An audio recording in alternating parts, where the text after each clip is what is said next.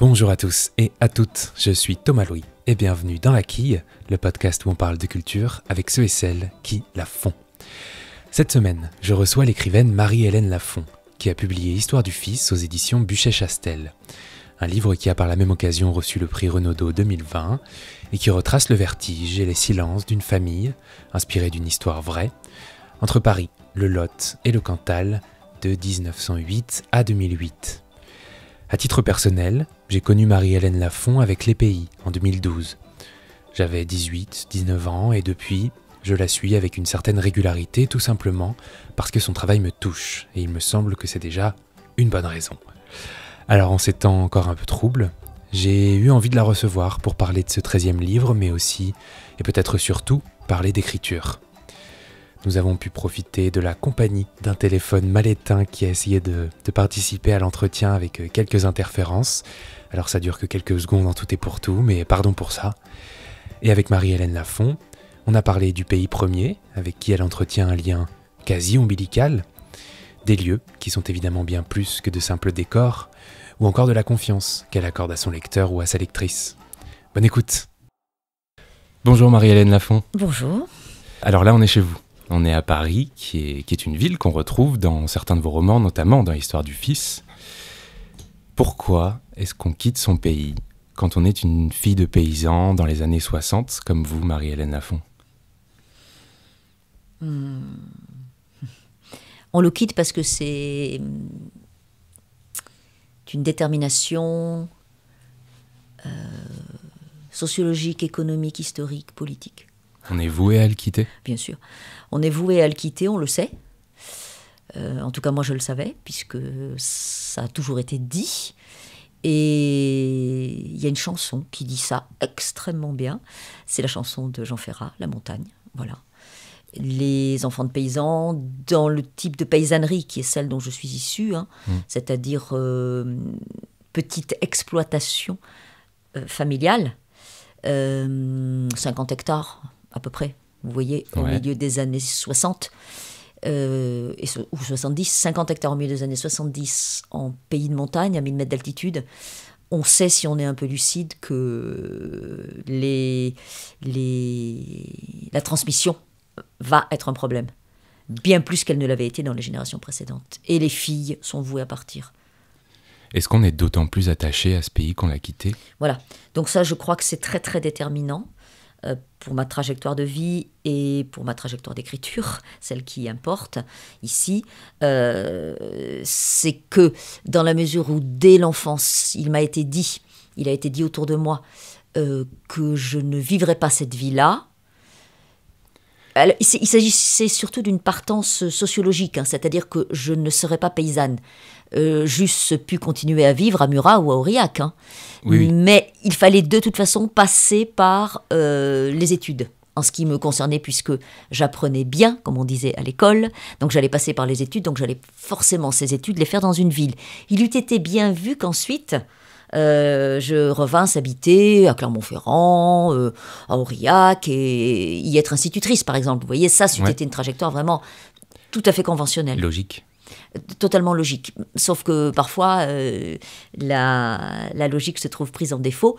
Et en ce qui me concerne, elle n'a commencé à se trouver prise en défaut, cette logique sociologique, si je puis dire, euh, que quand j'ai commencé à écrire, parce que le reste de ma trajectoire, je suis venue faire mes études à Paris au lieu d'aller à Clermont-Ferrand ou à Toulouse. Bon, ça, ça n'a rien de particulièrement transgressif. Mmh.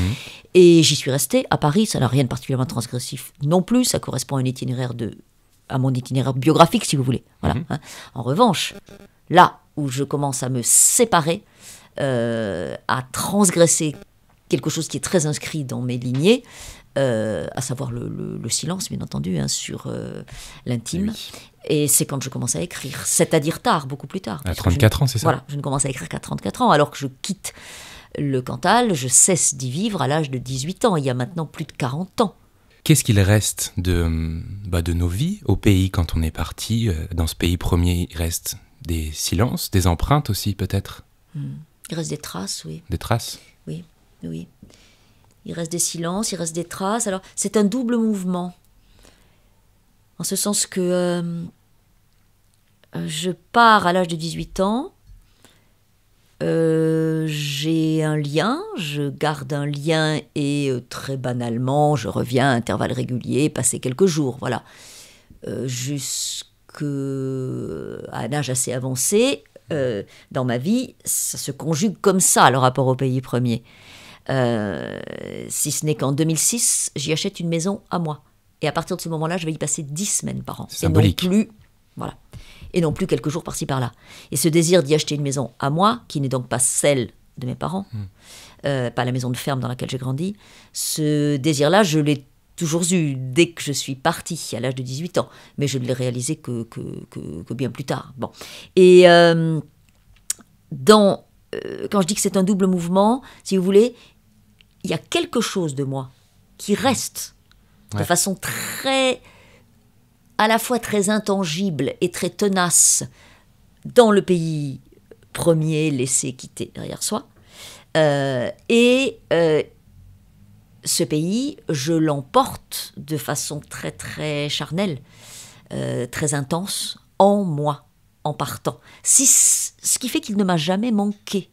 Je n'ai pas, si vous voulez, je me souviens très bien quand j'étais étudiante, euh, et même plus tard, pas tellement quand j'étais étudiante d'ailleurs, c'est une sottise, parce que quand j'étais étudiante, j'avais peu de rapport avec mes, mes, camarades, mais plus tard, d'avoir rencontré, c'est très banal hein, dans ma génération, ce, type de, de parcours de transfuge, et d'avoir rencontré euh, des femmes ou des hommes qui disaient, c'est c'est ce beau verbe, ils employaient ce beau verbe, ils disaient je me languis. Voilà, je me languis, c'est le beau verbe de la langueur, voyez. Je me languis, je ne me suis jamais langui du pays.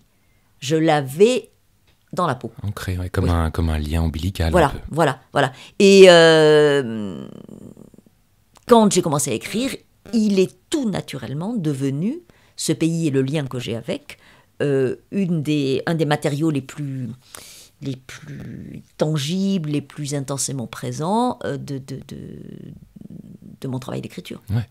Et dans quelle mesure, au-delà de ce pays, les lieux ont une importance, ont une incidence Mm. sur, euh, sur l'histoire dans votre travail, sur Mm. l'histoire de, de vos Ah livres ben, les, les lieux ont plus, plus qu'une importance, ils sont, j'aime bien cet adjectif, ils sont séminaux. Les lieux font source, hein, séminal, euh, c'est la, la, la semence, le- le- le- l'humus du texte, euh, c'est le lieu et le milieu. J'aime bien ne pas séparer les deux. hein. C'est le lieu et le milieu, l'humus du texte, et euh, donc c'est. euh, alors j'entends, j'ai une vision, euh, une définition, une définition, un rapport très extensif au lieu, vous voyez, parce que je ne sépare pas le lieu des saisons, du cycle des nuits et des jours, des travaux qui s'y font, des Mhm. bêtes qui y vivent dans ces lieux, bêtes domestiques et autres bêtes. Ce que important. Jean Giono appelle la sauvagine. Euh, je ne le sépare pas évidemment ces lieux des gens qui y vivent et qui le font vivre Bien sûr. et qui, à la différence de moi, soit ne l'ont pas quitté, soit l'ont rallié et choisi. C'est très important. Euh, donc, euh, si vous voulez, quand, quand j'entends par lieu, évidemment pas un décor. Aucun Ouais. des, des lieux de mes livres, euh, Vallée de la Santoire, Maison, euh, dans Fridière par exemple, euh, à Fridière par exemple dans, euh, dans l'annonce, aucun de mes lieux ne sont des décors, aucun. Et j'entends, je dis volontiers d'ailleurs que j'entends par paysage le corps du pays. Il y a une sorte de contiguïté physique charnelle entre corps des bêtes, corps des gens, corps des maisons, on dit bien corps de bâtiment d'ailleurs, hein, On le dit, ouais. et corps de pays, à savoir paysage. Il y a un lien organique, c'est une seule coulée organique de matière à embrasser par l'écriture. Alors, Histoire du Fils. Ce livre, vous l'avez entamé à partir d'une histoire vraie, Oui, dès 2012, je crois. oui. Enfin, disons que j'ai commencé à ruminer en 2012, Voilà, puisque c'est c'est en 2012 que s'est produite l'histoire en question, qui est la révélation d'un secret de famille. Alors bien, comment dire, une, une révélation qui s'est accompagnée, comme souvent dans les familles, de, de, de détails, si vous voulez, de circonstances, de ce que j'appelle des motifs, moi au sens pictural du terme, tellement riches et foisonnants, mais le réel est toujours très très riche et foisonnant. Le réel toujours nous déborde. Enfin, c'est vraiment la sensation que j'ai. Donc euh, cette histoire s'est accompagnée d'un tel foisonnement que la vivant, en étant le témoin, en étant aussi le témoin assigné à l'écriture par la nébuleuse familiale dans laquelle elle se produit, cette histoire. Ça, c'est quand même un peu singulier. C'est donc une histoire de famille, famille au sens large du terme, une tribu familiale. euh, qui m'est contiguë depuis quatre décennies. C'est une tribu à laquelle je suis très liée, mais ce n'est pas ma propre famille. Oui, hein. oui, c'est important de le dire. C'est très important. Et cette tribu familiale, qui me connaît depuis que j'ai donc euh, euh, 18 ans, voire même un peu plus, un peu plus, oui, cette tribu familiale sait que j'écris, me lit. Donc quand cette histoire arrive, tellement romanesque, immédiatement, quand je dis que je suis convoquée ou assignée, Ouais, on vous me êtes dit, la, la préposée à. tu vas nous l'écrire, me dit-on. Donc c'est pas vous. qui choisissait. Non. Alors, cela dit, hein, c'est une histoire de filiation. La filiation étant un des, une matière transversale et contiguë à tous mes livres. Oui, oui, et puis ces figures du père, du fils Voilà. qui vous sont Une quasi obsessionnelles, euh, j'ai l'impression. Voilà, c'était une histoire pour moi de toute façon. Donc, Ouais. pas un seul moment, je, je ne songe à tergiverser, à dire que. je- mais dès le début, dès le début, je sais où va être ma difficulté. Hmm. Et c'est en ce sens que je vous dis que je commence à ruminer en 2012, mais je ne commencerai vraiment le chantier d'écriture que quatre années après. Au Oui. moins quatre années après. Oui, vous écrivez nos vies entre temps, même, je oui, crois. bien sûr, je publie Nos vies en 2017, Ah, vous vous voyez. publiez, Et d'ailleurs, euh, à ce moment-là, euh, oui, alors je suis, moi je suis, tou- je suis toujours comme ça à l'intersection entre plusieurs chantiers, hein, tout le temps. hein. Euh, mais voilà, il y aura Nos vies en 2017, enfin, vous voyez, entre 2012 et 2020, il y a huit années quand même. hein. Oui, il passe un Et- petit temps, quoi. Voilà, et il y a plusieurs années de rumination, parce que je sais de toute façon que de ce matériau brut et beaucoup trop foisonnant, je ne peux rien faire. Rien. Ou alors une saga en, de trois volumes de 412 pages chacun, ce qui n'est absolument pas mon. Comment dire, mon chemin d'écriture. Enfin, Ouais. pas pour l'instant. Il faut pas dire Fontaine, je boirai pas de ton eau, hein. Mais c'est pas comme ça que ça se passe. Et alors, tout ce que vous écrivez, on l'aura compris, on le comprend si on vous lit, ou presque s'inspire de, ce, de cet inépuisable réel, comme, Oui. disait, comme disait Claude Simon. Oui. Au-delà du fait qu'on pourrait se demander pour quelle raison c'est votre matériau principal, on, peut, on pourrait aussi se demander pourquoi, pourquoi l'invention stricte des vies ne retient-elle pas votre attention? Eh bien, déjà, je vais vous dire une chose. Enfin, j'enfonce une porte ouverte. hein. Moi, je crois que l'invention stricte des vies, ça n'existe pas. Euh, Il peut y avoir, il y a d'ailleurs dans mes propres textes, hein, une mise en fiction. hein. Je n'invente pas, mais je réinvente. Je décale absolument tout. Vous pouvez toujours aller chercher la Chalme à, à- la famille Lachalme à, à Chanterelle. La famille Lachalme existe, Chanterelle existe, mais vous ne trouverez pas de Lachalme à Chanterelle. Je décale absolument tout. Ma géographie est complètement fictionnée. hein. Totalement. J'en- prends un grand soin. Donc, il y a une part de fiction. Euh, Ouais, ouais. euh, Il y a un travail de fiction hein, euh, qui, qui, pour moi, s'inscrit. euh, je je l'ai je l'ai- je- je- je l'ai dit ici ou, ici ou là, et je devance peut-être une question, mais pour moi, ce travail de, de, de, de, de- de fiction, de ré, pas d'invention, mais de réinvention, de mise en forme et de réinvention, de mise en forme dynamique du réel et de réinvention, Ouais. il s'inscrit euh, vraiment dans euh, ce que j'ai presque envie de qualifier d'une manière peut-être un peu raide, mais une, une forme de déontologie. À partir du moment où vous écrivez, Ouais. à partir d'un matériau réel, vos personnages sont d'abord des personnes. Les personnes qui vont devenir mes personnages, même s'ils sont consentants, comme c'était en partie le cas, en partie le cas dans Histoire du Fils, Ouais. De André et Antoine qui ne sont Ne- pas André et Antoine. voilà, ne mesurent pas, à mon avis, a priori, ce que peut être l'aventure ou la mésaventure euh, qui consiste à passer du statut de personne au statut de personnage. Les, les 20 ou 30 ou 10 dernières années euh, d'actualité littéraire sont pleines de procès, de d'empoignades, de controverses, qui d'ailleurs, j'en conçois, sont une manière d'attirer aussi l'attention sur les livres. hein. On sait très bien aujourd'hui que si on fait le buzz, on vend. Enfin, on peut vendre, vous voyez. Donc voilà.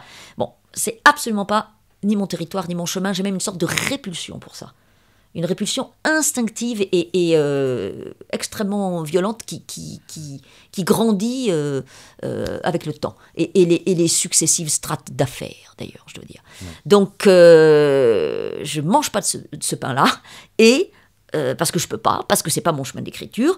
Et, donc, tous mes personnages sont des personnes, certes, furent des personnes, mais ces personnes, je les protège. Ouais. Ça me paraît être la moindre des choses. Je me protège aussi, bien entendu. Hein, fait, ouais. euh, voilà, ça va de soi. hein, voilà. Et, et, euh, donc, euh, pour en revenir à votre, à votre question, euh, moi, je, le, si vous voulez, l'invention euh, pure, brute et suspendue dans, dans, dans la stratosphère, à mon avis, ça n'existe pas. On invente toujours à partir de, ne serait-ce que parce que on est tenu de passer par le matériau langage. et que je sache, il, est, il est quand même à la fois inépuisable et en même temps quand même très normé. Hein, voilà. Euh, et en ce qui me concerne, de toute façon, je le dis toujours, ça peut paraître un peu réducteur aussi, mais je fais les livres que je peux. Et je ne fais que les livres que j'ai nécessité à faire. Hein. C'est-à-dire que, vous voyez, on peut pas. J'accepte volontiers une commande. Je vais volontiers vers des formes vers lesquelles je ne serais pas allé naturellement. Mais en revanche, c'est, on peut pas m'apporter un sujet. Euh, le, le réel peut être là, m'éclater à la gueule et j'y vais. Mais, euh, voyez, me dire, voilà, est-ce que tu voudrais pas nous faire, euh, je sais pas moi, un roman euh, bien, bien, voilà, bien à ta manière, mais un roman sur bon, un, héros du, de, de, de, la boxe française Ben non. Ça non, ouais. Bah non. On n'en veut pas. Non, ça, ça va pas être possible, c'est pas mon chemin.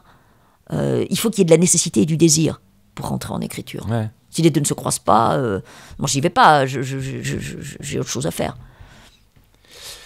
Pour revenir à cette hein histoire de petite fiction, si Histoire du Fils hum.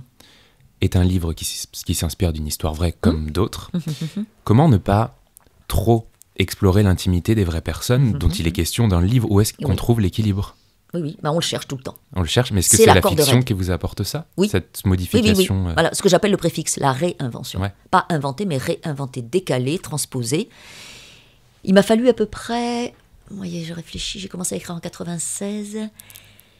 Euh, j'ai commencé à publier en 2001.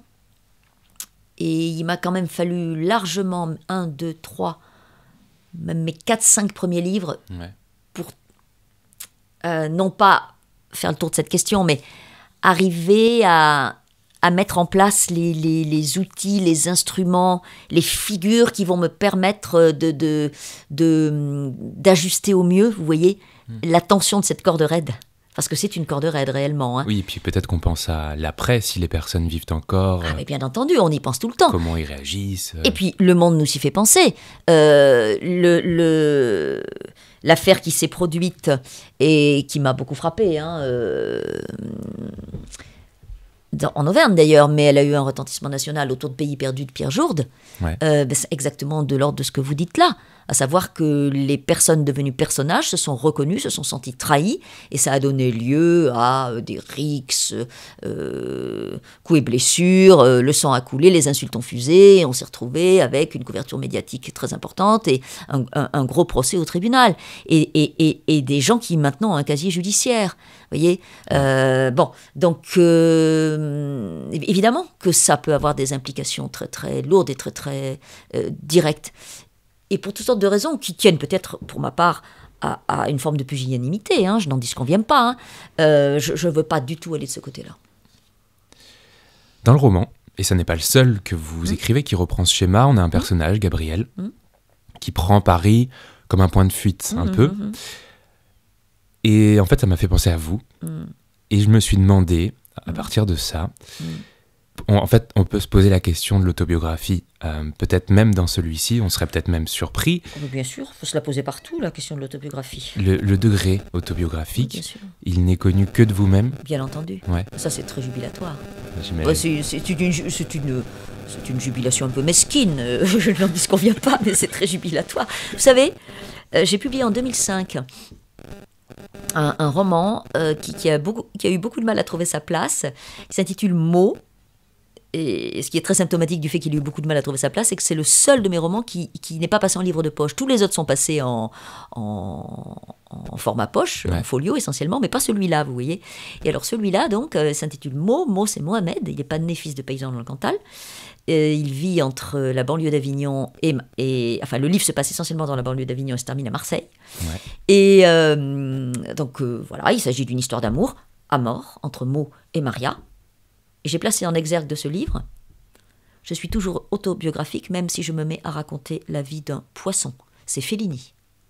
Vous voyez? Voilà. Donc, Tout est dit. C'est à savoir Tout que la charge autobiographique, elle est aussi forte en ce qui me concerne, dans un livre comme celui-là, voire dans l'histoire du fils, qu'elle ne l'est dans celui de mes livres qui a l'air d'être le plus explicitement autobiographique, Ouais. à savoir les pays. Vous voyez Euh, Bon, donc euh, cette question de l'autobiographie, elle est beaucoup plus, euh, comment dire, foisonnante, euh, nébuleuse, au sens où on parle d'une nébuleuse, Ouais. hein, fluctuante, subtile et fuyante, qu'on ne veut bien le croire, et qu'on est censé l'enseigner, par exemple, euh, à ses élèves, quand on en a, comme c'est mon cas. comme, comme vous le faites. Mm, Alors dans votre écriture, il y a la nature, il y a les saisons, il y a les rituels, il y a le travail paysan, Mm, avec ses gestes, son vocabulaire. Comment, comment mettre en valeur le sens du toucher, du travail lorsqu'on écrit? Comment mettre euh, en éveil les sens du lecteur? Oui, bien sûr. Bah, La, la question des sens, c'est la grande question. D'autant plus que nous sommes censés n'en avoir que cinq et que je, je- paraît. je dis volontiers que voilà, je dis volontiers qu'il y a les cinq répertoriés, bien entendu officiellement, puis il y a tous ceux qui n'ont pas de nom. Et euh, comment En travaillant, en travaillant beaucoup. Mon- ma matière, c'est la langue, la syntaxe, le lexique, la dynamique, La le ponctuation, rythme de la langue. Pardon. La ponctuation La ponctuation, c'est fondamental pour la dynamique et le, le rythme, Le souffle. C'est la ponctuation qui donne son souffle à la phrase. Et donc je, je cherche inlassablement. C'est très simple et très ambitieux Mm, euh, et très fou euh, à incarner. Il s'agit bien d'incarner, donner chair. Le verbe s'est fait chair. hein. Incarner le monde euh, en signe noir sur fond blanc, n'est-ce pas? Et enfin, en général, c'est comme ça que ça se passe. Et mon matériau, ce sont les, les mots. Et c'est à moi de tenter de trouver euh, le mot juste à la juste place, de placer le mot juste à la juste place pour justement convoquer, si vous voulez, chez le lecteur, hein, cette sorte de, voilà, de, de- mise en branle, hein, de, totale de l'être, qui, qui va faire que, eh bien, euh, il va sentir euh, passer le vent de la nuit, il va sentir l'odeur de l'air bleu, le parfum de l'air bleu dans le cimetière de Chanterelle au mois de novembre, et etc., etc. Et c'est justement ma question. Comment est-ce qu'on sait que le mot est à la bonne place? Est-ce qu'on le fait lire? Est-ce qu'on le lit à voix haute? On lit à voix haute, en ce qui me concerne, beaucoup. Comment Oui, alors moi j'ai plusieurs. euh, D'abord j'ai le temps pour moi. J'attends beaucoup. Je laisse énormément poser les textes. Entre le moment où un chantier s'ouvre et le moment où le livre euh, est publié, il, il peut se passer, euh, il se passe au, mi- au minimum, au minimum, on va dire trois ans, et il peut se passer quatre ans, cinq ans. On peut dire dans une certaine mesure, c'est un peu abusif, mais que le, le chantier de, de Histoire du Fils a été ouvert en 2012, hein, si vous voulez. hein, puisque j'ai commencé à ruminer en 2012, même si je ne prends pas de notes. hein.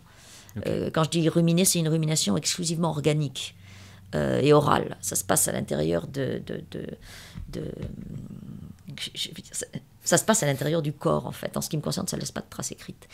Euh, je me suis d'ailleurs déjà posé la question de savoir euh, ce qu'il en... euh,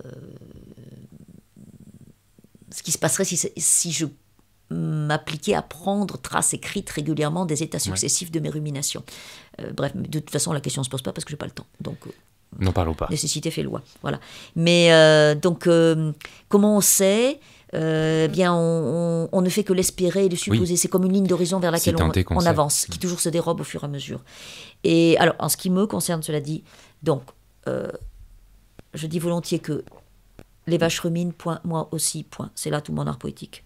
Donc, je rumine beaucoup, je laisse beaucoup poser, j'attends beaucoup. Je travaille beaucoup aussi.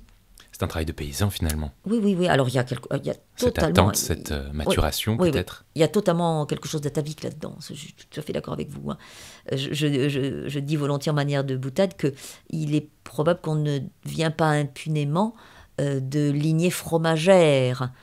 Euh, Saint-Nectaire et, et Cantal, ça mûrit en cave profonde, ça, vous voyez. hein. et on est, on est contraint de laisser le temps au temps. hein. Sinon, le produit euh, ne tient pas la route. Et Bon. pas, et pas fini quoi. Voilà, il n'est pas fini. Et, et, ah, alors en ce qui me concerne, hein, j'ai beaucoup de, de chance parce que. Alors, je lis à voix haute, vous l'avez dit, ça c'est bon, c'est assez banal, hein, je lis énormément à voix haute. Mhm. Beaucoup, ouais, c'est vrai. textes, Énormément. Et c'est absolument indispensable. Et, et, pour la plupart de mes textes, pas tous, mais pour la plupart de mes textes, j'ai aussi la chance, vous avez dit, est-ce qu'on fait lire? Alors moi, j'ai la chance d'avoir une amie, qui est la dédicataire de mon premier roman, qui s'appelle Agnès, qui est ma lectrice. À savoir que quand moi-même, je ne peux pas aller plus loin avec le texte, ne peux plus déplacer un mot, je sens que je vais le démolir si je continue, euh, je le lui envoie. Pas à votre éditrice, mais à Agnès. Ça passe d'abord par Agnès. Ensuite, ça passe par l'éditrice, bien entendu, qui elle aussi me dit voilà, ceci, cela, la page 82, Marie-Hélène, peut-être que. Enfin bon, c'est un travail d'éditeur, quoi. Oui, Hein, oui. Bon, c'est. Voilà. Mais avant euh, de, de passer par Pascal Gauthier, mon éditrice, donc, ça passe par cette amie, Agnès, qui lit tout euh, au crayon. Elle lit au crayon. Elle lit avec son crayon. J'ai presque envie de vous dire, elle corrige. Mais qu'est-ce qu'elle fait? Ah eh bien, elle lit tout et elle, elle- alors elle entoure, vous voyez. Elle, a Elle- un regard d'éditrice ou un regard d'amie lectrice? Ben, les deux. Mais sauf qu'elle est impitoyable. Donc elle va entourer un point virgule et Ah voyez interroger à côté, dire virgule et me dire parce qu'alors d'ab- d'abord je le lui envoie. Hmm. Elle- Elle habite la banlieue parisienne, je ne le lui porte pas, je le lui envoie. Ouais. Elle le lit et ensuite on se voit. Chacune avec un, un, un tapuscrit parce qu'elle ne veut pas lire sur écran. Hein, Voilà. Donc il faut qu'on ait chacune notre papier. hein, voilà. Et alors, euh, page 1, page 2, nanana, alors il y a des pages où il n'y a rien, il y a des pages où elle a mis oui, enfin bon, c'est formidable. Il y a des pages où. euh, Alors par exemple, je vous donne un exemple. Elle va entourer un point virgule, et ça je sais ce que ça veut dire. Et mettre un point d'interrogation en face. Ça veut dire tu fais ta maline avec ton point virgule? Est-ce qu'une virgule ne suffirait pas? Est-ce qu'il faudrait pas un point? Vous voyez? Ça va jusque-là, hein Euh, Passé simple imparfait. Elle va relever par exemple un mot un peu rare. Moi j'ai le goût des mots un peu rares. Un mot un peu rare dont elle va penser que dans des textes aussi courts que les miens, il n'est pas forcément utile de le répéter euh, à trois reprises, vous voyez. Et que va-t-elle faire? Elle va me dire, voilà, il est page 42, page 75 et page 116. Je, moi je pense que tu devrais le garder page 75, mais le remplacer page 42 et 116. Vous voyez, par exemple, etc. Tout Ouais. est comme ça. Y compris, y compris des interventions beaucoup plus massives. Par exemple, je vous en donne un exemple très précis sur Histoire du Fils. Euh, le premier tableau, les premières pages du premier tableau, Ouais. hein, donc euh, avril euh, 1908, hein, avec cet enfant qui s'éveille euh, au matin euh, et qui est pressé de retrouver, euh, de retrouver euh, une, une- une- Antoinette qui euh, a, a travaillé euh, pour ses parents et qui ensuite a quitté la maison pour se marier et qui lui manque beaucoup. Bon, voilà, vous voyez ça. Bon, elle lit ça Mhm. et elle me dit dans la marge, hein, elle écrit euh, les odeurs. Voilà, elle écrit les odeurs. Et qu'est-ce que ça veut dire? Elle m'explique. Elle me dit, tu vois, dans il y a 12 pages par exemple. Tu as énormément de sensations olfactives sur les six premières pages. Moi, je pense que tu devrais les rassembler sur les deux, trois premières pages. Tu devrais lancer la charge lourde des odeurs dans les trois premières pages. Elle a raison. Et à chaque fois, Je le fais. peut-être pas à chaque fois, mais Ah, mais je n'obtempère pas à tout. Voilà. Mais je retravaille mon texte en fonction de toutes ces suggestions. Toutes. Donc elle a une place. euh, Elle a une place énorme. hein. énorme. Le jour où elle arrêtera de faire ça, pour une raison ou pour une autre, euh, alors peut-être que j'arrêterai d'écrire. Enfin non, j'arrêterai pas d'écrire, mais euh, Quand même. pour ajuster le, vous voyez. Et, et donc voilà. Et elle fait ça depuis maintenant. euh, ben, depuis le premier texte que je lui ai mis entre les pattes, c'était en 1998. C'était la toute première version du, du Soir du Chien. Elle ne veut pas faire ça. Elle ne touche pas au texte que je ne publie pas chez Bûcher. Vous voyez? Elle ne touche qu'au texte du tronc, ce qu'elle appelle, elle, le tronc principal. Voilà. C'est-à-dire les textes de fiction, romans ou nouvelles chez Bûcher. Le reste, elle ne veut pas en entendre parler. Vous voyez, par exemple, euh, Gordana euh, au chemin de fer, euh, Traverser. Enfin, si, elle, elle elle est- je, bien sûr, je lui donne mes livres à lire une fois publiés, mais elle ne veut pas entrer dans la phase de d'amont. Il y a l'amont et l'aval. Ouais. Voilà, nous avons nos rituels. Et au bout de tout ça, il y a le lecteur. Alors, Histoire du Fils, c'est une espèce de, de puzzle qui s'étend de 1908 à 2008. Oui. Il y a un début, il y a une fin, mais entre-temps, je dirais, tout est décomposé. Il y a une galerie de 12 tableaux, en bref. Oui. Et euh, cette narration décousue, Mm. je dirais qu'il faut que ça met en tension le lecteur Oui, tout à fait. et qui, qui, qui, au final, est vraiment le, le- celui qui est au bout de tout ça. Oui. Est-ce que pour vous, alors déjà, j'ima- j'imagine que vous accordez une certaine confiance à votre lecteur, Ah, mais, totalement. Mais euh, est-ce que le but pour vous, c'est que ce lecteur ou cette lectrice ne, ne sorte pas du livre comme il y était entré? Oui, Quelle qu'en soit la raison, bien sûr. Oui, oui, bien sûr, bien sûr. Il faut, comment dire, qu'il y ait une mise en mouvement, une mise en tension, une mise en érection, on peut appeler ça aussi comme ça, euh, du lecteur. Ou que le lecteur danse, qu'il soit empoigné, au minimum qu'il en passe par des émotions, au minimum, au minimum. C'est la moindre des choses, vous voyez? Et l'émotion, euh, ça va bien au-delà de, de, voilà, de, comment dire, euh, euh, de l'envie de pleurer ou, des frissons sur mm. la peau, ce qui est déjà considérable. c'est vraiment, oui, une mise en tension de l'être, le sentiment par la rencontre avec le texte, le sentiment que on peut avoir devant un tableau ou en écoutant de la musique ou en voyant un spectacle enfin qu'on pouvait avoir, n'est-ce pas? On va le mettre à l'imparfait pour l'instant. Les galeries sont ouvertes Oui, les galeries, j'y vais d'ailleurs dans les galeries, mais euh, pas. Voilà, les galeries. Euh, c'est essentiellement Paris quand même et les grandes villes, vous voyez. Ouais. Donc euh, oui, le, le, voilà, le, le, sentiment que, enfin l'expérience, l'expérience, pas le sentiment, l'expérience d'être à la proue de soi-même, d'être au-dessus de soi-même et d'y être porté par par le, par le texte, par le tableau, par la musique, etc.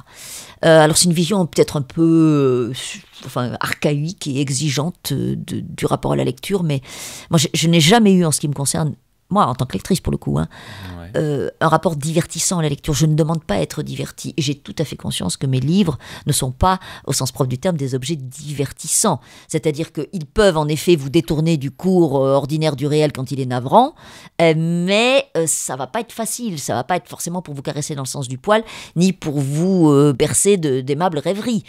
Mm-hmm. aucun de mes livres ne, ne donne dans ce registre-là. Et j'ai la chance d'avoir des lecteurs qui sont, euh, j'ai presque envie de dire, qui sont des aventuriers. Voilà, ils y vont, mes lecteurs. Et il faut leur faire confiance. Vous avez employé un mot essentiel tout à l'heure. Moi, je pense qu'il faut vraiment faire confiance aux lecteurs. Pas les prendre pour des imbéciles, pas leur, leur, leur euh, surligner euh, les sensations, les émotions, etc. Ouvrir le chantier, ouvrir le champ, ouvrir les possibles. Et ensuite, le lecteur va mener sa danse là-dedans. Vous voyez hein Et je conçois tout à fait, d'ailleurs, hein, qu'un lecteur se dise Qu'est-ce qu'elle fabrique Elle fait sa maligne avec ses dates, là. Et moi, je laisse tomber, j'ai pas envie. Bah oui, le lecteur est libre. Hein. il n'est pas convoqué à lire Marie-Hélène Lafont, fort heureusement. Bah, fort heureusement, bien sûr. Mmh. Mmh. Pourquoi il n'y a pas de dialogue dans L'histoire du fils Il y en a dans aucun de mes livres. Je ne sais pas faire les dialogues. Je sais pourquoi il n'y en a pas. C'est la raison. Je sais pourquoi je ne sais pas. Mais le résultat, c'est que je ne sais pas. Et j'ai beau savoir pourquoi je ne sais pas, je ne sais toujours pas. Donc je ne fais pas. Parce que alors quand je me mêle de faire des dialogues, ça, ça ne tient pas debout. Ça sonne horriblement faux. voyez? J'admire infiniment quelqu'un comme euh, Laurent Mauvigné, par exemple, qui, euh, je ne sais pas comment, euh, pousse la chair du dialogue dans la viande de ses livres d'une façon magistrale. moi, je ne sais pas faire ça, j'en suis totalement incapable. Et bon, peut-être qu'un jour ce verrou hein, sautera d'une manière ou d'une autre, je ne sais pas trop par quel truchement, mais... Euh, Pour l'instant, on en est là. Non, on en, on en, est là quand même depuis un certain temps. Hein. Ça commence, mais bon. Ça commence à faire. Est-ce que vous avez des inspirations, vous D'écriture, de, des modèles peut-être, pourquoi pas? Alors j'ai ce que j'appelle des nourritures. Ouais. Euh, et des... des hum, alors, des modèles, le mot est un peu. Comment dire Il est très intimidant. Vous voyez, voilà, si je vous dis Flaubert et Michon et que je vous dis que ce sont mes modèles, bon, ben, je, je, remballe tout, quoi. Je n'écris pas une ligne, vous comprenez? C'est une des raisons d'ailleurs pour lesquelles je suis. Euh, j'ai commencé à écrire si tard, c'est pas la seule, mais c'en est une. Hein. Euh, voilà, j'avais lu Un cœur simple, j'avais lu Céline, euh, j'avais lu Claude Simon, enfin bon, j'avais lu des gens dont vous vous dites, une fois que vous les avez lus, que bon, tout a toujours déjà été fait, que c'est peut-être pas la peine. Hein. Et curieusement, d'une façon un peu paradoxale, euh, c'est l'écriture des vivants. Bon, Claude Simon était vivant, mais euh, j'ai expliqué pourquoi. Il n'a pas déclenché le processus chez moi. Mais c'est l'écriture des vivants que sont Pierre Michon, Richard Millet et Pierre Bergogneau. Euh, pendant, à partir de l'automne 95 et hiver 95-96 et printemps et été 96 qui m'a acculé au mur de l'écriture et j'ai commencé à l'automne 96. C'est l'écriture de ces vivants-là qui sont des aventuriers du verbe, sans quoi pour moi il n'y a pas d'écriture, il n'y a pas de livre, il n'y a rien. Euh, donc il y a d'abord l'aventure du verbe, ce sont des aventuriers du verbe, et euh, j'ai découvert leur existence euh, pendant cette poignée de mois, là, vous voyez, euh, de l'automne 95 au, à l'été 96. L'existence des trois, que j'ignorais parfaitement, y compris celle de Pierre Michon, qui avait pourtant publié Les vies minuscules, si je ne m'abuse, en 84 quand même. Oui, voilà.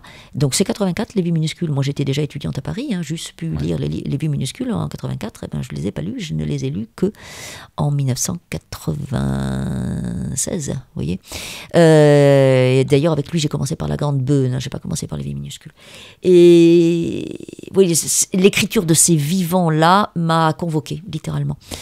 Et peut-être parce qu'ils étaient vivants et parce qu'ils étaient aussi dans une contiguïté j'ai presque envie de dire euh, géologique, géographique, euh, sociologique, euh, et donc très organique, avec ma propre histoire, puisqu'ils viennent tous les trois du, du, Massif central, c'est-à-dire de ces départements évidés, élimés, récurés, désossés littéralement par l'exode rural depuis le début du XXe siècle. Mmh.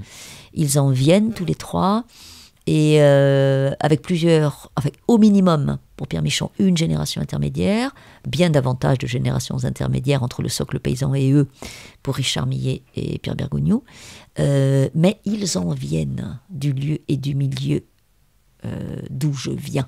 Et ils en font œuvre, c'est-à-dire j'entends par œuvre travail en cours, vous savez chantier, travaux en cours, voilà, ils en font ça. Et, ça, ça m'a littéralement euh, assiégé en quelque sorte. J'ai eu le sentiment que bah, le, désir d'écriture, il, fallait désormais s'y confronter, s'y affronter, vous voyez. Et j'ai commencé pas tellement arrêté depuis. Jusqu'à, euh, il y a quelque temps, recevoir le prix Renaudot, qui est le symbole d'une reconnaissance. Mhm, mhm. Comment est-ce que vous accueillez, mhm. ce sera ma dernière question, encore le doute dans votre travail? Oh. Le doute est mon véritable métier. On prête, cette citation à Jean Paulhan. Je ne sais pas si c'est lui, mais en tout cas, le doute, mon véritable métier. Vous savez, le doute, euh, pour toutes sortes de raisons qui me sont assez claires, euh, il, ne m'a jamais quitté et il ne me quittera pas. Euh, je n'ai eu aucune inquiétude à cet égard recevant le Renaudot. À aucun moment, j'ai eu le sentiment que ça allait, si vous voulez, me ranger bien gentiment du côté des assis et des autosatisfaits définitifs, euh, qui à mon avis l'étaient déjà avant de commencer à écrire une seule ligne d'ailleurs, et le sont restés. Hein. On les embrasse. Euh, voilà, et grand bien leur face, mais je n'appartiens pas, pour toutes sortes de raisons, des bonnes et des mauvaises, si tant est qu'on puisse les classer, je n'appartiens pas à cette euh, heureuse tribu. Et bon, alors cela dit, il faut parfois se méfier des apparences parce que vous savez, je crois que euh, euh, d'aucuns qui, qui, qui, pérorent et paradent sont, sont, parfois euh, saisis d'effroi et de vertige. Hein. Bon. En ce qui me concerne, le vertige, je connais, et ça m'accompagne forcément dans les chantiers d'écriture, et ça m'accompagne ici et maintenant, quelques mois après le Renaudot, et, et, ça va continuer. Là, à cet égard, alors là, vraiment, je n'ai aucune inquiétude. S'il n'y a aucun doute, c'est bien celui-ci, c'est que vous en aurez encore. S'il n'y a aucun doute, c'est que je vais continuer à habiter le pays du doute. Et euh, je vais vous poser une dernière question mhm. que je pose à tous mes invités, à toutes mes invitées. Mhm. Est-ce que vous avez un petit ou plusieurs petits mhm. coups de cœur culturels à nous partager? Oui, oui, oui, oui. Je réponds très très volontiers à cette question. Euh, nous avons fait allusion tout à l'heure aux, galeries. Moi, je suis extrêmement privée de, de, de, peinture. Euh, c'est vraiment une nourriture très essentielle pour moi.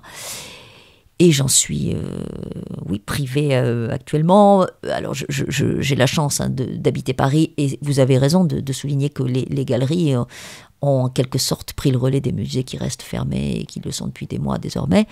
Et euh, la galerie Daniel Templon, Templon pardon, ou la galerie Kamel Menour, c'est rue du Grenier Saint-Lazare pour le premier, et c'est Claude Viala, et c'est rue euh, Le Peintre exposé, et c'est euh, rue euh, du Pont de Lodi pour Kamel Menour, et c'est Buren et Pareno qui ont inventé une installation assez formidable et très jubilatoire. Bon, alors évidemment, je, dis ça, ces, expositions ont été relayées dans des émissions sur France Culture, etc. C'est d'ailleurs là que j'en ai entendu parler. J'y suis allée. Bon, voilà, moi j'habite Paris. Hein. Euh, donc, euh, je, je, je, me suis dit qu'il il fallait aussi absolument que je, parle de d'une nourriture qui, qui, puisse être accessible, euh, y compris euh, du fin fond du, du, du, Cantal, de la Lozère ou du Poitou. Hein. Euh, enfin, le Poitou, c'est pas une, un département, ça doit être une région. Je dis des sottises. Hein. Je pense que c'est une région. Ouais. Voilà, voilà. Bref, donc, donc, je conseille vivement d'aller chercher sur le site de France Culture. L'émission intitulée Fiction et d'y écouter Jean Giono, qui a fait l'objet de deux adaptations euh, donc Le Hussard sur le toit, elle a été diffusée ou rediffusée en 15 épisodes de 25 minutes chacun.